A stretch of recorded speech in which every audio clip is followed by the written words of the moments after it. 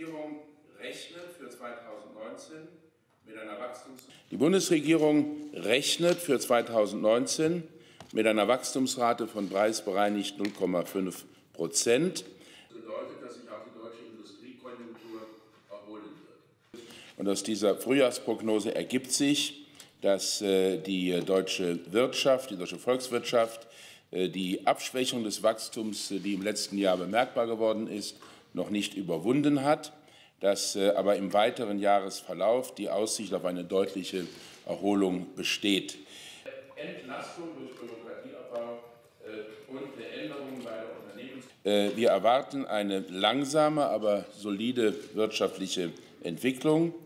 Wir sind überzeugt, dass das Wachstum in diesem Jahr unter dem Strich weitergeht, dass es aber nicht hoch genug ist, äh, um ähm, die Notwendigkeit einer modernen, leistungsfähigen äh, Volkswirtschaft abzubilden und dass wir deshalb auch darüber reden müssen, wie wir dieses Wachstum über das normale Maß hinaus anregen und verstärken können. Die Situation der Personengesellschaften verbessern, dass wir ihnen äh, Optionen einräumen, die Krankenversicherung, es gibt Entlastungen bei der Einkommenssteuer, es gibt Investitionen.